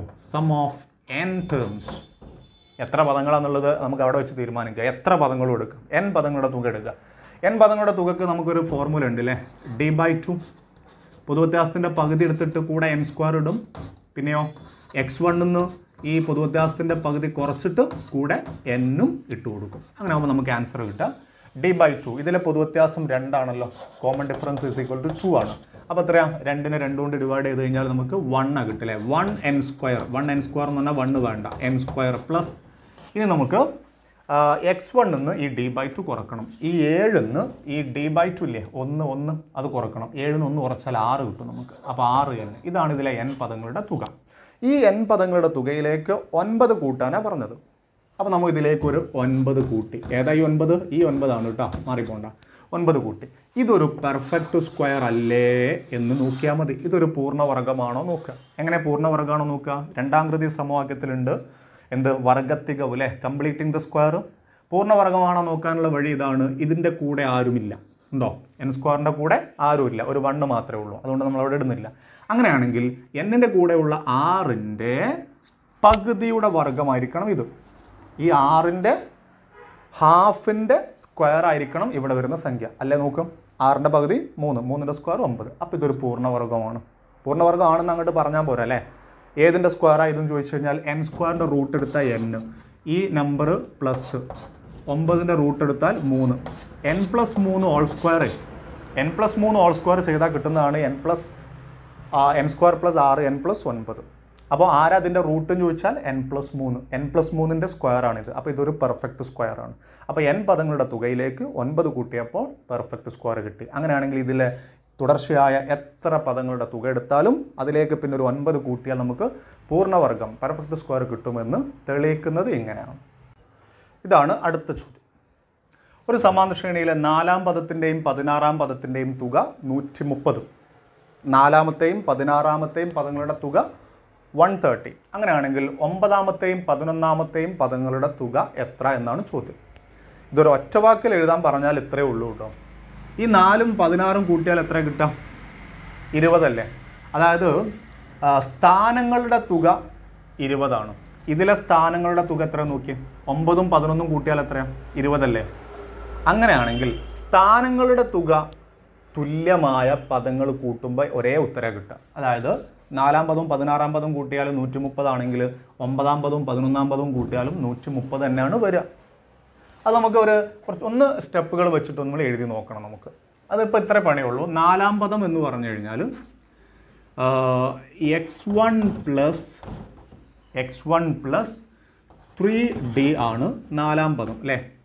ഇതല്ലേ നാലാമത്തെ പദം? പതിനാറാം പദം എന്ന് പറഞ്ഞാലോ? എക്സ് വൺ പ്ലസ് പതിനഞ്ച് ഡി ആണ്. ഇനി ഇതിന്റെ തുക സമ്മ് തുക ഇതൊന്ന് കൂട്ടിയത് എക്സ് വണ്ണും എക്സ് വണ്ണും കൂട്ടിയാൽ ടു എക്സ് വൺ അല്ലേ മൂന്ന് ഡിയും പതിനഞ്ച് ഡിയും കൂട്ടിയാൽ പതിനെട്ട് ഡി ഇതാണ് നാലാം പദത്തിന്റെയും പതിനാറാം പദത്തിന്റെയും സമ്മ. ഇതേ സംഭവം ഇവിടെയും കിട്ടുന്നതായിട്ട് കാണിച്ചാൽ മതി നമ്മൾ ഒൻപതാം പദം ചോദിച്ചാൽ എക്സ് വൺ പ്ലസ് എട്ട് ഡി പതിനൊന്നാം പദം ചോദിച്ചാൽ എക്സ് വൺ പ്ലസ് പത്ത് ഡി അപ്പോൾ ഇവയുടെ തുക സമ്മ ചോദിച്ചാൽ എക്സ് വൺ എക്സ് വണ് കൂട്ടിയാൽ ടു എക്സ് വൺ പത്ത് ഡി എട്ട് ഡി കൂട്ടിയാൽ പതിനെട്ട് ഡി. കണ്ട? ഇവിടുത്തെ അതേ ആൻസറാണ് ഇവിടെ കിട്ടുന്നത്. അപ്പോൾ ഇവിടെ നൂറ്റി മുപ്പതാണെങ്കിൽ ഇവിടെ എത്രയായിരിക്കും വരും അപ്പം? നൂറ്റി മുപ്പത് എന്ന് എഴുതി വെച്ചാൽ മതി. ക്വസ്റ്റിലേക്ക് വരാം. ഒരേ പൊതുവ്യത്യാസമുള്ള ഒരേ കോമൺ ഡിഫറൻസ് ഉള്ള രണ്ട് ശ്രേണികളുടെ രണ്ട് അരിതമറ്റ് സീക്വൻസുകളുടെ അഞ്ചാം പദങ്ങൾ തമ്മിലുള്ള ഡിഫറൻസ് എട്ട് ആയാൽ ഇരുപതാം പദങ്ങൾ തമ്മിലുള്ള വ്യത്യാസം ഡിഫറൻസ് എത്രയായിരിക്കും? അതും എട്ട് തന്നെ ആയിരിക്കും വരിക ഒരേ പൊതുവ്യത്യാസമുള്ള രണ്ട് ശ്രേണി ഇങ്ങനെ എഴുതിയാൽ തൊട്ട് മുന്നേ ഒരു ചോദ്യമില്ല? ആദ്യത്തെ പതിനഞ്ച് പദങ്ങളുടെ തുകയും അടുത്ത പതിനഞ്ച് പദങ്ങളുടെ തുകയും നമ്മൾ വ്യത്യാസം ചോദിച്ചപ്പോൾ എല്ലായിടത്തും ഒരേ ഡിഫറൻസ് വന്നത് കണ്ടില്ലേ? അതേപോലെ. അത് നമ്മൾ കാണിക്കൽ എങ്ങനെയാണ് ഒരേ പൊതുവ്യത്യാസമുള്ള രണ്ട് ശ്രേണികളുടെ അഞ്ചാം പദങ്ങൾ അഞ്ചാം പദം നമുക്കൊന്ന് കണ്ടുപിടിക്കാം. അഞ്ചാം പദം വരാം. എക്സ് വൺ അല്ലെങ്കിൽ എഫ് പ്ലസ് ഫോർ ഡി ആണ് അഞ്ചാം പദം അല്ലേ? ഇതൊരു സമാന്തര ശ്രേണിയുടെ അഞ്ചാം പദം അടുത്ത സമാന്തര ശ്രേണിയുടെ അഞ്ചാം പദം എന്ന് പറയുന്നത് അവിടെ എഫ് കൊടുക്കരുത് കേട്ടോ വേറൊരു ലെറ്റർ കൊടുക്കുക ഞാൻ എ എന്നെടുത്തു എന്താ എഫ് കൊടുക്കാത്തെന്ന് ചോദിച്ചാൽ രണ്ട് ശ്രേണികളുടെയും പൊതുവ്യത്യാസമേ തുല്യമാവുള്ളൂ രണ്ട് ശ്രേണികൾ തുല്യമല്ല ഒന്ന് തുടങ്ങുന്നത് എഫ് എം എന്നാണെങ്കിൽ മറ്റൊന്ന് എഫ് എം എന്ന് തുടങ്ങാൻ പാടില്ല. അത് ഞാൻ എ എന്ന് കൊടുത്തു. പക്ഷേ അഞ്ചാമത്തെ പദമല്ലൊക്കെ ചോദിച്ചാൽ നാല് ഡി രണ്ടിനും ഡി ഡി തന്നെ കൊടുത്താൽ മതി കേട്ടോ വ്യത്യാസം വേണ്ട. കാരണം എന്താ? രണ്ടിനും ഒരേ പൊതുവ്യത്യാസമാണ്. ഇനി ഈ അഞ്ചാമത്തെ പദങ്ങൾ തമ്മിലുള്ള ഡിഫറൻസ് ഡിഫറൻസ് വ്യത്യാസം. ഇതെങ്ങനെ നമ്മൾ കുറയ്ക്കാൻ നോക്കുക? എഫ് എന്ന് എ കുറച്ചാൽ എഫ് മൈനസ് എ നാല് ഡി എന്ന് നാല് ഡി കുറച്ചാൽ പൂജ്യം. അപ്പോൾ ഇതാണ് വ്യത്യാസം കേട്ടോ ഇനി ഇരുപതാം പദങ്ങൾ തമ്മിലുള്ള വ്യത്യാസമല്ലേ നമുക്ക് ഇരുപതാം പദം ഒന്ന് കണ്ടു നോക്കാം രണ്ടിന്റെയും ഇരുപതാം പദം ആദ്യത്തേന്റെ എഫ് പ്ലസ് പത്തൊമ്പത് ഡി അടുത്തതിന്റെ ഇരുപതാം പദം എത്ര എഫ് എൽ അല്ല കൊടുക്കുക? എന്താ കൊടുക്കുക? ആദ്യ പദം എ പ്ലസ് പത്തൊമ്പത് ഡി ഇനി വ്യത്യാസം കേട്ടോ ഡിഫറൻസ് ഡിഫറൻസ് എഫ് എന്ന് എ കുറച്ചാൽ എഫ് മൈനസ് എ ഇത്രയല്ലേ ഉള്ളൂ? പത്തൊമ്പത് ഡി നിന്ന് പത്തൊമ്പത് ഡി കുറച്ചാൽ പൂജ്യം. അപ്പോൾ രണ്ട് സ്ഥലത്തും ഒരേ ഡിഫറൻസ് ആണ് കണ്ട? ഇവിടെ എഫ് മൈനസ് എ ഇവിടെ എഫ് മൈനസ് എ അപ്പോൾ ഇതിലെ ആദ്യത്തെ ഇതിലെ അഞ്ചാമത്തെ പദങ്ങൾ തമ്മിലുള്ള വ്യത്യാസം എട്ട് എന്നല്ല തന്നത്? അതായത് ഈ വ്യത്യാസം എട്ടാണെങ്കിൽ ഈ വ്യത്യാസം എത്രയാണ് ഇതും എട്ട് തന്നെ. കാരണം എന്താ? ഇവിടെ കിട്ടിയ അതേ വ്യത്യാസം തന്നെയാണ് ഇവിടെയും കിട്ടിയത്. അപ്പോൾ രണ്ടിലും എട്ടാണ്. തൊട്ട് മുന്നത്തെ കണക്കിലുള്ള അതേ സംഭവമാണ് കേട്ടോ. ഇതും ഒരു പ്രധാനപ്പെട്ട ചോദ്യമാണ്. ടെക്സ്റ്റ് ബുക്കിലൊക്കെ ചോദിക്കുന്ന ടൈപ്പ് ചോദ്യമാണ്. ആറിന്റെ ഗുണിതങ്ങളായ മൂന്നക്ക സംഖ്യകളുടെ ശ്രേണി എഴുതുക അവരുടെ തുക കാണുക. അതായത് ആറിന്റെ ഗുണം എന്ന് പറഞ്ഞാൽ ആറിന്റെ മൾട്ടിപ്പിൾസ് ആയ ത്രീ ഡിജിറ്റ് നമ്പേഴ്സ് ശ്രേണി സീക്വൻസ് ആയിട്ട് എഴുതിയിട്ട് അതിന്റെ സമ്മ് കണ്ടുപിടിക്കാൻ. അപ്പോൾ നമുക്ക് ത്രീ ഡിജിറ്റ് നമ്പേഴ്സ് എന്ന് പറയുമ്പോൾ വേഗം നമ്മുടെ മനസ്സിൽ hundred to nine hundred ninety nine നൂറ് മുതൽ തൊള്ളായിരത്തി തൊണ്ണൂറ്റൊമ്പത് വരെ. ആദ്യത്തെ ആറിന്റെ ഗുണിതം ഒന്ന് നോക്കാം. അതിന് നമ്മൾ ആദ്യം നൂറിനെ ആറ് കൊണ്ട് ഹരിച്ചു നോക്കാം എന്നിട്ട് ശിഷ്ടം എത്രയാണ് നോക്കാം കറക്റ്റ് ഡിവൈഡ് ചെയ്യാൻ പറ്റുന്ന നൂറ് ആറിന്റെ ഗുണിതമാണോ എന്നൊക്കെ ഒന്ന് ചെക്ക് ചെയ്യാം പത്തിൽ ആറ് ഒരു പ്രാവശ്യം ഒരു ആറ് ആറ് ബാക്കി നാല് പൂജ്യം ഇറക്കിട്ട നാൽപ്പതിൽ ആറ് ആറ് പ്രാവശ്യം ആറ് ആറ് മുപ്പത്തി ആറ് ബാക്കി നാല്. ശിഷ്ടം നാല് വരുന്നുണ്ട് നൂറിൽ അപ്പം നൂറ് ആറിന്റെ ഗുണിതല്ല അല്ലേ അപ്പോൾ നമ്മൾ ഈ നാല് കുറക്കും നമ്മൾ ശിഷ്ടം നാലാണ് കിട്ടുന്നത്. നാല് പറ്റൂല. അപ്പോൾ നമ്മൾ നൂറിൽ നിന്ന് നാല് കുറക്കുക തൊണ്ണൂറ്റി ആറ് ഇത് ആറിന്റെ ഗുണിതമായിരിക്കും. ഈ അധികം വന്ന ശിഷ്ടം ഉണ്ടല്ലോ റിമൈൻഡർ അതുകൊണ്ട് കുറച്ച് ഒഴിവാക്കിയാൽ പിന്നെ നമുക്ക് റിമൈൻഡർ പൂജ്യം വരും. അപ്പോൾ ആറിന്റെ ഗുണിതം കിട്ടും. തൊണ്ണൂറ്റി ആറ് ആറിന്റെ മൾട്ടിപ്പിൾ ആണ്. തൊണ്ണൂറ്റാറ് ആറിന്റെ മൾട്ടിപ്പിൾ ആണെങ്കിൽ അത് മൂന്നക്ക സംഖ്യ അല്ല അപ്പോൾ നമ്മൾ എന്ത് ചെയ്യണം വെച്ചാൽ ഫസ്റ്റത്തെ ആളെ കിട്ടാൻ വേണ്ടിയിട്ട് ഈ തൊണ്ണൂറ്റി ആറിലേക്ക് ഒരു ആറ് കൂട്ടിയാൽ മതി. നൂറ്റി രണ്ടാണ് ആദ്യത്തെ സംഖ്യ കിട്ടുക. ആദ്യത്തെ ആൾ നൂറ്റി രണ്ട് അപ്പോൾ നമ്മളെ സീക്വൻസ് എഴുതുമ്പോൾ ഇങ്ങനെ വരിക. നൂറ്റി രണ്ട് ഇനി ആറ് കൂട്ടിക്കഴിഞ്ഞാൽ നൂറ്റി എട്ട് ഇനി ആറ് കൂട്ടിക്കഴിഞ്ഞാൽ നൂറ്റി പതിനാല് ഇങ്ങനെയാണ് ആ സീക്വൻസ് പോവുക. നമുക്കിതിൽ അവസാനത്തെ ആളെ കണ്ടുപിടിക്കണം. അതായത് തൊള്ളായിരത്തി തൊണ്ണൂറ്റി ഒൻപതിനെ ആറ് കൊണ്ട് ഡിവൈഡ് ചെയ്യുമ്പം എങ്ങനെയൊക്കെയാണ് റിമൈൻഡർ വരിക നോക്കുക ശിഷ്ടം. ആറിലൊരു പ്രാവശ്യം ഒരു ആറ് ആറ് ബാക്കി മൂന്ന് മുപ്പത്തി ഒമ്പതിൽ ആറ് പ്രാവശ്യം മുപ്പത്തി ആറ് ബാക്കി മൂന്ന്. വീണ്ടും ഒൻപത് ഇറക്കി കഴിഞ്ഞാൽ ആറ് പ്രാവശ്യം ആറ് ആറ് മുപ്പത്തി ആറ് റിമൈൻഡർ നമുക്ക് മൂന്ന് കിട്ടും. ശിഷ്ടം മൂന്ന് കിട്ടും. അപ്പോൾ തൊള്ളായിരത്തി തൊണ്ണൂറ്റൊമ്പത് എന്തല്ല ആറിന്റെ ഗുണിതം അല്ല.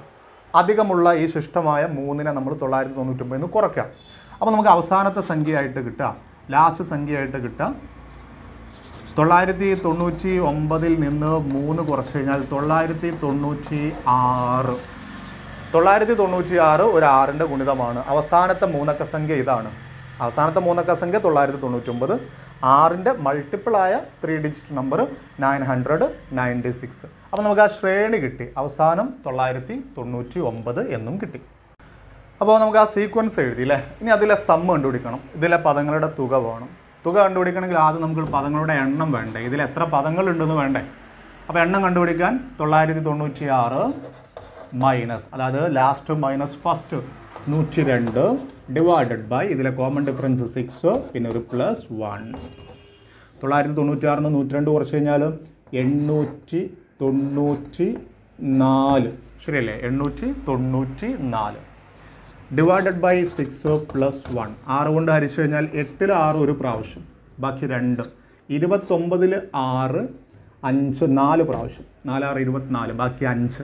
അൻപത്തിനാലിൽ ആറ് ഒൻപത് പ്രാവശ്യം. നൂറ്റി നാൽപ്പത്തൊമ്പത് പ്ലസ് ഒന്ന് നൂറ്റി അൻപത് പദങ്ങളുണ്ട്. അല്ലേ? നൂറ്റി അൻപത് പദങ്ങളുണ്ട്. അപ്പോൾ സമ്മ തുക. നൂറ്റി അൻപത് പദങ്ങളുടെ തുകയാണ് നൂറ്റി അൻപത് ബൈ രണ്ട് ഇന്റു ഫസ്റ്റ് ടേം നൂറ്റി രണ്ട് പ്ലസ് ലാസ്റ്റ് ടേം തൊള്ളായിരത്തി തൊണ്ണൂറ്റി ആറ് ബാക്കി നിങ്ങൾ ചെയ്ത് നോക്കിയാൽ മതി. നൂറ്റി അൻപതിനെ രണ്ടും കൊണ്ട് കറക്റ്റ് ആയിരിക്കാൻ പറ്റും. എഴുപത്തഞ്ച് കിട്ടും. എഴുപത്തഞ്ച് ഇന്റു ഇത് രണ്ടും കൂട്ടിയിട്ട് ഇവിടെ എഴുതാം. ലാസ്റ്റ് മൾട്ടിപ്ലൈ ചെയ്യാം. അടുത്ത ദിവസം നോക്കൂ. The angles of a pentagon are in arithmetic sequence ഒരു പഞ്ചഭുജത്തിന്റെ പെൻഡഗൺ എന്ന് പറഞ്ഞാൽ പഞ്ചഭുജം. പഞ്ചഭുജത്തിന്റെ കോണുകൾ സമാന്തര ശ്രേണിയിലാണ്. ചെറിയ കോൺ അറുപത്തെട്ട് ഡിഗ്രി ആയാൽ എല്ലാ ആംഗിൾസും കാണുക. അതിലുള്ള എല്ലാ കോണുകളും കണ്ടുപിടിക്കുക. പഞ്ചഭുജത്തിന് ആകെ അഞ്ച് കോണുകൾ ഉണ്ടാവും. അറിയാലോ? പഞ്ചഭുജം എന്ന് പറഞ്ഞാൽ അഞ്ച് വശങ്ങളുള്ള പെൻഡകം എന്ന് പറഞ്ഞാൽ എ ഫൈവ് സൈഡഡ് പോളിഗൺ ആണ്. അഞ്ച് വശമുള്ള ഒരു ബഹുഭുജമാണ് പഞ്ചഭുജം. അതിന് അഞ്ച് കോണുകൾ ഉണ്ടാവും അല്ലേ? ഈ അഞ്ച് കോണുകളുടെ സമ്മ് എത്രയാണെന്ന് അറിയാം നിങ്ങൾക്ക്? അത് നമ്മൾ ചെറിയ ക്ലാസ്സിൽ പഠിച്ചിട്ടുണ്ട്. അത് ഇവിടെ തരൂല. അഞ്ച് കോണുകൾ കൂട്ടിയാൽ പഞ്ചഭുജത്തിന് ത്രികോണത്തിൽ മൂന്നെണ്ണം കൂട്ടിയാൽ നൂറ്റൻപത് ചതുർഭുജത്തിൽ ക്വാഡ്രിലാറ്ററിൽ മൂന്നെണ്ണം കൂട്ടിയാൽ മുന്നൂറ്ററുപത് പഞ്ചഭുജത്തിൽ കൂട്ടിക്കഴിഞ്ഞാൽ അഞ്ഞൂറ്റി നാൽപ്പത് ഡിഗ്രിയാണ് ടോട്ടൽ വരിക. അപ്പോൾ സമ്മ് അഞ്ഞൂറ്റി നാൽപ്പത് അല്ലേ നമ്പറോ എണ്ണം അഞ്ചെണ്ണം. അങ്ങനെയാണെങ്കിൽ ഈ നടുവിലുള്ള ആളെ നമുക്ക് കിട്ടും. മിഡിൽ ടേം കണ്ടുപിടിക്കാൻ സമ്മ് ബൈ നമ്പറാണ് അഞ്ഞൂറ്റി നാൽപ്പതിനെ അഞ്ഞൂറ്റി നാൽപ്പതിനെ അഞ്ചുകൊണ്ട് ഹരിച്ചു കഴിഞ്ഞാൽ നമുക്ക് നൂറ്റി എട്ട് കിട്ടും. ഈ നൂറ്റിയെട്ട് പറയുമ്പോൾ ഞാൻ ചെറിയൊരു കാര്യം പറയാം. ക്ലാസ്സിലൊക്കെ കുട്ടികളെടുത്ത് വർക്ക് ചെയ്യുന്ന സമയത്ത് കുറേ കുട്ടികൾക്ക് പതിനെട്ട് എന്ന് കിട്ടാറുണ്ട്. ഈ അഞ്ഞൂറ്റി നാൽപ്പതിന് അഞ്ചുകൊണ്ട് ഹരിക്കുമ്പോൾ പതിനെട്ട് എന്ന് കിട്ടാറുണ്ട്. എന്നാൽ അത് വെച്ചിട്ട് ആൻസർ ചെയ്യാറുമുണ്ട്. അതെന്താ അതിന്റെ മിസ്റ്റേക്ക് എന്ന് വെച്ചതാണ് അഞ്ഞൂറ്റി നാൽപ്പതിന് ചെറിയൊരു ഹരണക്രിയയാണ് ഡിവിഷനാണ് ഇതെന്തിനാ അങ്ങനെ ചെയ്യിപ്പിക്കണം ചോദിച്ചാൽ ഈ ഒരു മിസ്റ്റേക്ക് പലരും വരുത്താറുണ്ട്. അഞ്ചുകൊണ്ട് ഡിവൈഡ് ചെയ്യുമ്പോൾ അഞ്ചിൽ അഞ്ച് ഒരു പ്രാവശ്യം ഒരു അഞ്ച് അഞ്ച്. ബാക്കി പൂജ്യം നാല് നാലഞ്ച് പോകില്ല അല്ലേ?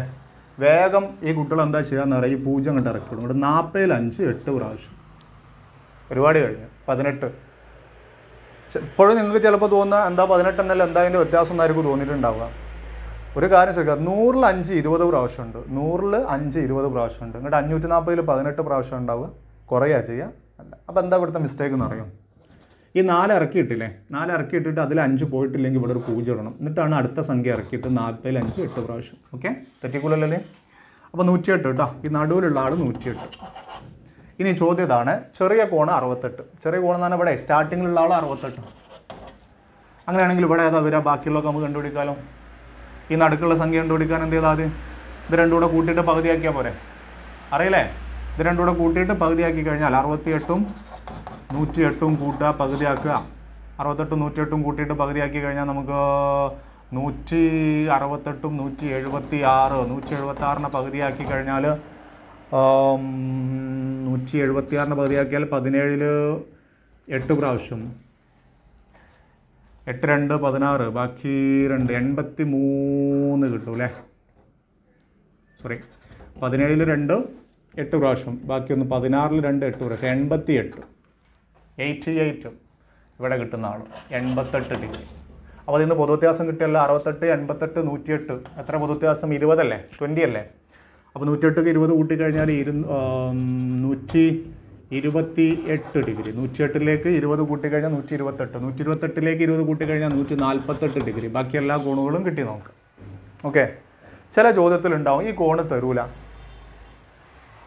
ഈ കോണുകൾ സമാന്തര ശ്രേണിയിലാണെങ്കിൽ അതിന്റെ കോണുകൾ എത്ര ഡിഗ്രി വീതമായിരിക്കും എന്ന് ജസ്റ്റ് ചോദിച്ചെന്ന് വിചാരിച്ചു. അങ്ങനെ ആകുമ്പോൾ നമുക്ക് ഇതിലെ നടുവിലുള്ള കോണ് നൂറ്റിയെട്ട് ഡിഗ്രി കിട്ടി അല്ലേ? ഇത് കഴിഞ്ഞിട്ട് ആൻസർ കഴിഞ്ഞാൽ ഇനി ഇതിൽ ഈ കോണൊന്നും തന്നിട്ടില്ല എങ്കിൽ ചെറിയ കോൺ തന്നിട്ടില്ല നടുവിലത്തെ നമുക്ക് നൂറ്റിയെട്ട് കിട്ടി. ബാക്കിയുള്ളതൊക്കെ എഴുതാൻ പറഞ്ഞു കഴിഞ്ഞാൽ നിങ്ങൾക്ക് ഇഷ്ടമുള്ള കോമൺ ഡിഫറൻസ് എടുത്തിട്ട് ചെയ്യാൻ പറ്റും. നിങ്ങൾക്ക് വേണമെങ്കിൽ കോമൺ ഡിഫറൻസ് ഒരു രണ്ട് എടുക്കാം. രണ്ട്. അപ്പോൾ ഇത് നൂറ്റി പത്ത് ഓക്കെ ഇത് നൂറ്റി പന്ത്രണ്ട് ഇത് നൂറ്റി ആറ് ഇത് നൂറ്റി നാല് ആൻസറായി അപ്പം ചോദിക്കും കോമൺ ഡിഫറൻസ് വേറെ ഏത് എടുത്താലോ? വേറെ ഏത് എടുത്താൽ വേറെ കിട്ടും? നിങ്ങൾക്ക് വേണമെങ്കിൽ കോമൺ ഡിഫറൻസ് ഒന്ന് എടുത്തോ? അല്ലെങ്കിൽ പത്ത് എടുത്തോ? ഇത് അപ്പം അങ്ങനെ പല ആൻസറും കിട്ടും. എങ്ങനെ ആയാലും ആൻസർ കറക്റ്റാണ് ഇതെല്ലാം കൂടെ കൂട്ടിയിട്ടുണ്ടെങ്കിൽ അഞ്ഞൂറ്റി നാൽപ്പത് തന്നെ ഉണ്ടാവുള്ളൂ. ഇനി ഇതിലൊരു ചോദ്യമുണ്ട്. ടെക്സ്റ്റ് ബുക്കിലുണ്ട് ഒരു ചോദ്യം. ഇതിലെ ചെറിയ കോണ് ഇതിലെ ചെറിയ കോണ് മുപ്പത്താറ് ഡിഗ്രിയിൽ കൂടുതലായിരിക്കും എപ്പോഴും എന്ന് തെളിയിക്കാൻ ടെക്സ്റ്റ് ബുക്കിലുള്ള ചോദ്യമാണ് ഇതിലെ ചെറിയ കോണ് മുപ്പത്താറ് വരൂലാന്ന് മുപ്പത്താറിന്റെ കൂടുതൽ വരണം എന്ന് എന്താ പ്രശ്നം എന്ന് അറിയോ ഇതിലെ ചെറിയ കോണ് മുപ്പത്താറ് ഡിഗ്രി എടുത്തു കഴിഞ്ഞാൽ ഇതിലെ കോമൺ ഡിഫറൻസ് ആയിട്ട് എന്ത് വരും നോക്കാം നമുക്ക്. കോമൺ ഡിഫറൻസ് വേണം. നമുക്ക് ഇതിലെ നടുവിലുള്ള സംഖ്യ എന്ന് കണ്ടിട്ടുണ്ടെങ്കിൽ നൂറ്റി എട്ടിലേക്ക് മുപ്പത്തി ആറ് കൂട്ടിയിട്ട് പകുതിയാക്കുക വേണ്ടത്. ഈ നടുവിലുള്ള സംഖ്യ കിട്ടാൻ. നൂറ്റി എട്ടിലേക്ക് മുപ്പത്തി ആറ് കൂട്ടിയിട്ട് പകുതിയാക്കിയിട്ടുണ്ടെങ്കിൽ നൂറ്റി നാൽപ്പത്തി നാല് ബൈ രണ്ട് എന്ന് കിട്ടും. നൂറ്റി എട്ടും മുപ്പത്തി ആറ് കൂട്ടിയാൽ നൂറ്റി നാൽപ്പത്തിനാലിന് രണ്ട് കൊണ്ട് അരിച്ചിട്ട് നമുക്ക് എഴുപത്തിരണ്ട് കിട്ടും. എഴുപത്തിരണ്ടാണ് ഇവിടെ കിട്ടുക. ഈ എഴുപത്തിരണ്ട് ഇവിടെ വന്നു കഴിഞ്ഞാൽ പൊതുവ്യത്യാസം എത്ര അറിയാം? മുപ്പത്താറ് എഴുപത്തിരണ്ട് നൂറ്റിയെട്ട് മുപ്പത്താറാണ് കോമൺ ഡിഫറൻസ് പൊതുവ്യത്യാസം മുപ്പത്താറാണ് അപ്പോൾ ഇവിടെ നൂറ്റിയെട്ടിലേക്ക് മുപ്പത്താറ് കൂട്ടിക്കഴിഞ്ഞാൽ നൂറ്റി നാൽപ്പത്തിനാല് കേട്ടോ. ഈ നൂറ്റി നാൽപ്പത്തിനാലിലേക്ക് മുപ്പത്താറ് കൂട്ടിക്കഴിഞ്ഞാൽ നൂറ്റി എൺപത് ഇങ്ങനെയാണ് നമുക്ക് കോണുകൾ കിട്ടുക. എന്ത്? ചെറിയ കോണ് മുപ്പത്താറാണെങ്കിൽ ഇതെന്താ അതിൽ പറ്റൂല എന്ന് പറയാനുള്ള കാരണം? ഈ ഒരു കോണ് നൂറ്റമ്പത് ഡിഗ്രി എങ്ങനെ വരിക നൂറ്റമ്പത് ഡിഗ്രിയുള്ള കോണ് കണ്ടിട്ടുണ്ടെങ്കിൽ ഇങ്ങനെ നേരെ വരിക ഒരു കോണ് നേരെ അങ്ങനെ വന്നു കഴിഞ്ഞാൽ പിന്നെ ഇങ്ങനെ നിന്നാലല്ലേ നമുക്കൊരു സൈഡ് രണ്ടെണ്ണം ആവുള്ളൂ ഇതിങ്ങനെ നേരെ നിന്നാൽ ഒരു സൈഡായി പോകും. അപ്പോൾ ഒരു കോണ് നൂറ്റി എൺപത് ഡിഗ്രി വന്നു കഴിഞ്ഞാൽ ആ ഭാഗം ആ പഞ്ചഭുജം എന്ന് പറഞ്ഞാൽ സാധനം ഇതാണ് മക്കളെ. അഞ്ച് വശങ്ങളുണ്ടാവും. ഇതിൽ ഈ കോണ് നൂറ്റമ്പത് ഡിഗ്രി ആവുമെന്ന് പറഞ്ഞാൽ ഇത് ഇങ്ങനെ അങ്ങോട്ട് നിവർന്ന് ലെവലായിട്ട് നിൽക്കുക എന്നതിന്റെ അർത്ഥം. അതാ ഇങ്ങനെ വരിക. അപ്പോഴവിടെ നൂറ്റമ്പത് ഡിഗ്രി ഉണ്ടാവുക. അപ്പോൾ പിന്നെ ഇത് പഞ്ചഭുജം ആവില്ല ഇതെന്താവും? ചതുർഭുജാവും. കോട്ടിലാറ്റിലാവും അതുകൊണ്ടാണ് ഇതിൽ ചെറിയ കോണ് മുപ്പത്താറ് ഡിഗ്രി വരൂല. മുപ്പത്താറിൽ താഴെ വന്നാലും ഇതേ പ്രശ്നം ഉണ്ടാവും. കാരണം ഇതിനേക്കാൾ വലിയ കോണ് കിട്ടും. അതിവിടെ നടക്കൂല. അപ്പോൾ മുപ്പത്താറിൽ കൂടുതലായിരിക്കും ചെറിയ കോണ് എന്ന് തെളിയിക്കാൻ പറഞ്ഞാൽ ഇങ്ങനെ ചെയ്തിട്ടാണ് ഇത് കാണിക്കുക. ടെക്സ്റ്റ് ബുക്കിലുള്ള ചോദ്യം ഞാൻ ഇതിന്റെ കൂടെ പറഞ്ഞു എന്നേ ഉള്ളൂ. ഓക്കെ. അടുത്ത ക്വസ്റ്റ്യൻ. സെക്കൻഡ് ഡിഗ്രി ഇക്വേഷൻ രണ്ടാകൃതി സമവാക്യം ഉപയോഗിച്ച് ചെയ്യേണ്ട ഇതിലെ ചോദ്യമാണ്. അതുകൊണ്ട് ഇതിന് പ്രാധാന്യം കൂടുതലാണ് കാരണം ആ രണ്ട് ചാപ്റ്ററിന്റെയും കണ്ടന്റ് വരുന്ന ചോദ്യമായതുകൊണ്ട്. ചോദ്യം ഇതാണ് ഒരു സീക്വൻസ് ഇങ്ങനെ തന്നിട്ടുണ്ട്. എത്ര പദങ്ങളുടെ സമ്മാണ് തുകയാണ് അറുന്നൂറ്റി തൊണ്ണൂറ് ഇതിൽ എത്ര പദങ്ങൾ കൂട്ടിയാൽ അറുന്നൂറ്റി തൊണ്ണൂറ് കിട്ടും എന്ന ചോദ്യം. അപ്പോൾ നമുക്കൊരു കാര്യം ചെയ്യാം. ഇതിലെ എൻ പദങ്ങൾ കൂട്ടി നോക്കാം. എൻ പദങ്ങളുടെ തുക കണ്ടുപിടിക്കാം. എൻ പദങ്ങളുടെ തുക കണ്ടുപിടിക്കുമ്പോൾ നമ്മൾ ഒരു എൻ സ്ക്വയർ വേണം. അത് കഴിഞ്ഞിട്ട് ഒരു എന്നും വേണം അല്ലേ? ഇവിടെ ആരെ എഴുതേണ്ടത്? പൊതുവ്യത്യാസത്തിന്റെ പകുതി. ഇതിലെ കോമൺ ഡിഫറൻസ് മൂന്നാണ്. പൊതുവ്യത്യാസം മൂന്നാണ്. അപ്പോൾ മൂന്നിന്റെ പകുതി മൂന്ന് ബൈ രണ്ട് എൻ സ്ക്വയർ എന്ന് ഇവിടെ ഇടണം. ഇനി ഇവിടെ നമ്മൾ ഇടേണ്ട സംഖ്യ x one minus d by two അതായത് ഈ ആദ്യ പദത്തിൽ നിന്ന് മൂന്ന് ബൈ രണ്ട് കുറക്കണം. ആറിൽ നിന്ന് മൂന്ന് ബൈ രണ്ട് കുറച്ചാൽ രണ്ടാറ് പന്ത്രണ്ട് മൈനസ് മൂന്ന് ബൈ രണ്ട്. ആൻസർ ഒമ്പത് ബൈ രണ്ട് എന്ന് കൂട്ടും. ഒൻപത് ബൈ രണ്ട്. അപ്പോൾ ഈ മൂന്ന് ബൈ രണ്ടും ഒമ്പത് ബൈ രണ്ടും കൂട്ടിക്കഴിഞ്ഞാൽ പന്ത്രണ്ട് ബൈ രണ്ട് ആറ് ഫസ്റ്റ് ടേം കിട്ടുകയും ചെയ്യും. ഇതാണ് എൻ പദങ്ങളുടെ തുക. എന്നിട്ട് ഈ പദങ്ങളുടെ തുകയായിട്ട് അറുന്നൂറ്റി തൊണ്ണൂറ് എന്ന് എടുക്കുക തൽക്കാലം. അപ്പോൾ ഇത് ഞാൻ ഇവിടുന്ന് അങ്ങോട്ട് മായിക്കുകയാണ്. Three by two n square plus nine by two n is equal to അറുന്നൂറ്റി തൊണ്ണൂറ് എൻ സ്ക്വയർ വന്നതുകൊണ്ട് ഇത് സെക്കൻഡ് ഡിഗ്രിയാണ് രണ്ടാം കൃതി സമവാക്യമാണ്. ഇതിനൊക്കെ നമുക്കൊരു രണ്ട് കൊണ്ട് ഗുണിക്കാം. കംപ്ലീറ്റ് രണ്ട് കൊണ്ട് ഗുണിച്ചാൽ കാരണം ഈ രണ്ട് നമുക്കൊന്ന് ഒഴിവായി കിട്ടണ്ടേ? ബൈ വെച്ചിട്ട് ചെയ്യുമ്പോൾ ബുദ്ധിമുട്ടല്ലേ? അപ്പോൾ ഇവിടെ രണ്ട് ഗുണിക്കുക. ഇവിടെയും ഒരു ഇന്റു ടു ചെയ്യുക. ഇവിടെയും ഒരു ഇന്റു ടു ചെയ്യുക. അപ്പോൾ ഈ രണ്ട് രണ്ട് വെട്ടിയിട്ട് മൂന്ന് എൻ സ്ക്വയർ ഇവിടെ ഗുണിക്കുന്ന ഈ രണ്ടും രണ്ടും വെട്ടിയിട്ട് ഒമ്പത് എൻ അവിടെ അറുന്നൂറ്റി തൊണ്ണൂറിനെ രണ്ടുകൊണ്ട് കൊണ്ട് ഗുണിച്ച് കഴിഞ്ഞാൽ രണ്ട് പൂജ്യം പൂജ്യം രണ്ടൊമ്പത് പതിനെട്ട് രണ്ട് ആറ് പന്ത്രണ്ട് ഒന്നും പതിമൂന്ന്. ആയിരത്തി മുന്നൂറ്റി എൺപത് എന്നും കിട്ടും. അപ്പോൾ ഇത് three n square plus nine n ഈ ആയിരത്തി മുന്നൂറ്റി എൺപതിനെ ഇടത്തോട്ട് കൊണ്ടുവന്നു കഴിഞ്ഞാൽ മൈനസ് ആയിരത്തി മുന്നൂറ്റി എൺപത് സമം പൂജ്യം. ഇങ്ങനൊരു സംഭവം കിട്ടി നമുക്ക്. ഇതിനെ മൂന്ന് കൊണ്ട് ഒന്ന് ചെറുതാക്കാൻ പറ്റുമോ എന്ന് നോക്കാം നമുക്ക്. ഇവിടെ മൂന്ന് കൊണ്ട് ചെറുതാക്കാൻ പറ്റുവാണെങ്കിൽ ഇത് കംപ്ലീറ്റ് മൂന്ന് കൊണ്ട് ഡിവൈഡ് ചെയ്താൽ ചെറുതാക്കുന്നതൊക്കെ നമുക്ക് കാൽക്കുലേഷൻ എളുപ്പമാവാൻ വേണ്ടി ചെയ്യുന്നതാണ്. എല്ലാറ്റിനും നമ്മൾ മൂന്ന് കൊണ്ട് ചെറുതാക്കുകയാണ്. മൂന്ന് മൂന്ന് വെട്ടി ഒമ്പതിനെ മൂന്ന് കൊണ്ട് വെട്ടി കഴിഞ്ഞാൽ അവിടെ മൂന്ന് കിട്ടും. ഈ ഇതിനെ മൂന്ന് കൊണ്ട് വെട്ടുന്ന സമയത്ത് പതിമൂന്നിൽ മൂന്ന് ആറ് പ്രാവശ്യം. ആറ് മൂന്ന് സോറി പതിമൂന്നിൽ മൂന്ന് നമുക്ക് നാല് പ്രാവശ്യം. നാല് മൂന്ന് പന്ത്രണ്ട് ബാക്കി ഒന്ന്. ആ ഒന്നും കൂടെ എടുത്താൽ പതിനെട്ടിൽ മൂന്ന് ആറ് പ്രാവശ്യം. നാനൂറ്റി അറുപത് കറക്റ്റ് കിട്ടും. അപ്പോൾ എൻ സ്ക്വയർ പ്ലസ് മൂന്ന് എൻ മൈനസ് നാനൂറ്റി അറുപത് സമം പൂജ്യം. ഓക്കെ ഇനി ഇതിനെ ബാക്കി നമുക്ക് ചെയ്തു നോക്കാൻ പറ്റും. ഞാൻ ഇവിടെ ചെയ്യുന്നില്ല. Minus b plus four minus root b square minus four a c by two എന്നുള്ള ഫോർമുല വെച്ചിട്ട് ഇതിനൊന്ന് സോൾവ് ചെയ്ത് നോക്കുക. സോൾവ് ചെയ്യുമ്പോൾ നിങ്ങൾക്ക് എന്നിന്റെ വാല്യൂ ആയിട്ട് ഒരു വാല്യൂ ഇരുപത് കിട്ടുന്നുണ്ടോ നോക്കുക. അതായത് ഇരുപത് പദങ്ങളുടെ തുകയാണ് അറുന്നൂറ്റി തൊണ്ണൂറ് എന്ന രീതിയിലാണ് കിട്ടുക. അതിനൊന്ന് സോൾവ് ചെയ്ത് നോക്കിയാൽ മതി. അപ്പോൾ നമ്മൾ ഈ ചാപ്റ്ററിന്റെ ക്വസ്റ്റ്യൻസ് തൽക്കാലം നമ്മളിവിടെ സ്റ്റോപ്പ് ചെയ്യാണ്. നിങ്ങൾക്ക് വീഡിയോസ് ഇഷ്ടപ്പെട്ട് കഴിഞ്ഞാൽ ലൈക്ക് ചെയ്യാൻ മറക്കരുത്. ഷെയർ ചെയ്ത് കൊടുക്കുക കൂട്ടുകാർക്കൊക്കെ. ചാനൽ സബ്സ്ക്രൈബ് ചെയ്യാത്തവർ സബ്സ്ക്രൈബ് ചെയ്ത് വെക്കുക. നമുക്ക് മറ്റൊരു ക്ലാസ്സിന്റെ വീഡിയോസുമായിട്ട് മറ്റൊരു റിവിഷൻ ക്ലാസ്സുമായിട്ട് കാണുന്നവരെ തൽക്കാലം ഞാൻ വിട പറയുന്നു. താങ്ക്